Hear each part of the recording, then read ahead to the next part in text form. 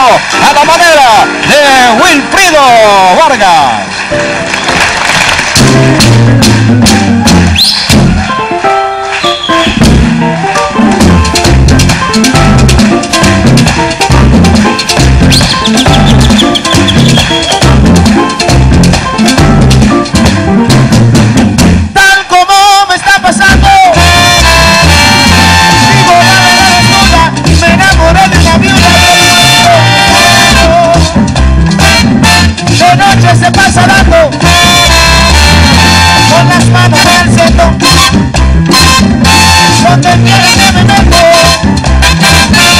yo siento el que te vi una vez que dices el vino ajeno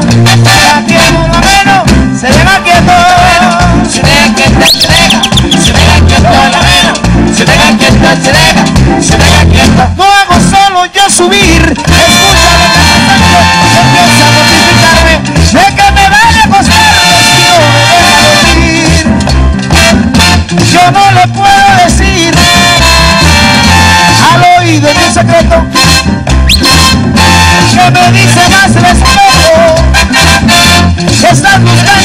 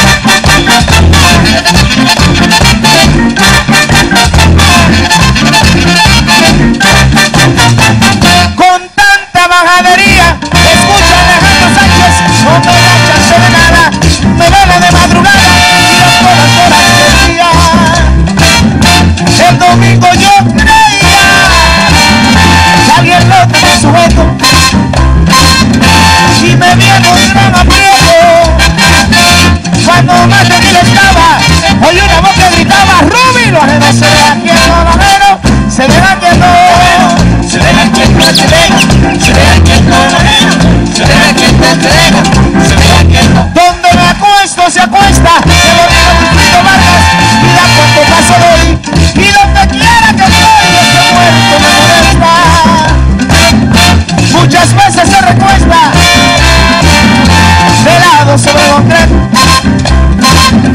Si ha jurado por completo acosarme de esta casa y noche diga que pasa lo ajeno. Se le va viendo la mano, se le va se le se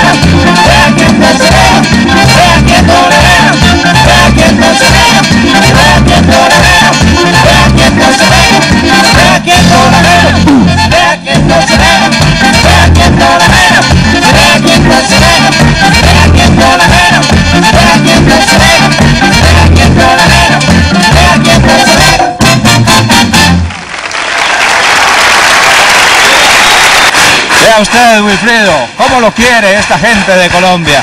Este público que siempre le respalda, que siempre apoya sus grabaciones. Seguro, nosotros nos ganamos eso, yo creo que bien ganado por la razón de que trabajamos pensando en que existe un Colombia que le entregó un Congo de oro a Wilfrido Vargas sin saber quién era, Wilfrido Vargas y su beduino en el año 1981. De ahí en adelante, como muestra de agradecimiento y de reconocer ese gesto sin precedente, hemos estado trabajando para ver qué dice la gente de Colombia cada vez que vamos a un estudio de grabación, a ver si le gusta o no le gusta el tema. Cuando entendemos que un disco tiene éxito aquí, decimos gracias a Dios, en Colombia recibieron el mensaje de la orquesta nuestra. Bueno, Wilfrido, la de hoy es una noche muy especial.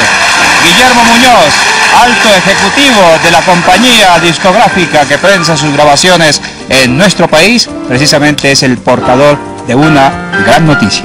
Muchas gracias Jorge y en nombre del pueblo colombiano y de la disquera que prensa Wilfrido en Colombia, me es grato entregar este LP, disco de oro, por todos los éxitos de Wilfrido en Colombia. Es el reconocimiento del pueblo que ama el merengue. Un disco de oro para Wilfrido Vargas por las ventas millonarias de sus grabaciones en Colombia. No hay forma como agradecer esto.